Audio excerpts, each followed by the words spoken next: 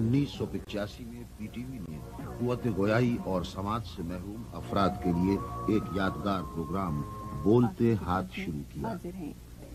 یہ پروگرام ہم آپ کی رہنمائی اور مشوروں کو سامنے رکھ کر ترتیب دیتے ہیں۔ اپریل جون کی سہ ماہی میں اسی نوعیت کا ایک اور پروگرام اشاروں کی زبان کا آغاز ہوا۔ اس کی کمپیئرنگ کے فرائض افتخار احمد انجام دیتے تھے۔ سولہ اپریل خواتین و حضرات، زندگی میں بہت سے لوگ ہیں جو عزم اور استقلال کی تصویر ہوتے ہیں۔ جن صاحب کو یہ خصوصی ایوارڈ دیا جا رہا ہے، وہ عزم اور استقلال کی جیتی جاگتی تصویر ہیں۔ جہاں پر زبان ساتھ چھوڑ دیتی ہے، وہاں اشارے کام شروع کر دیتے ہیں۔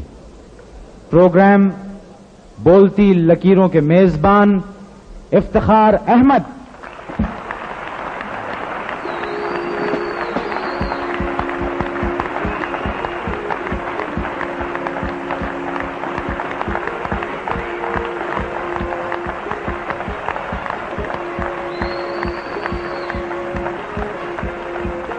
بولتے ہاتھ کے میزبان افتخار احمد۔ بہت ساری تالیاں خواتین حضرات۔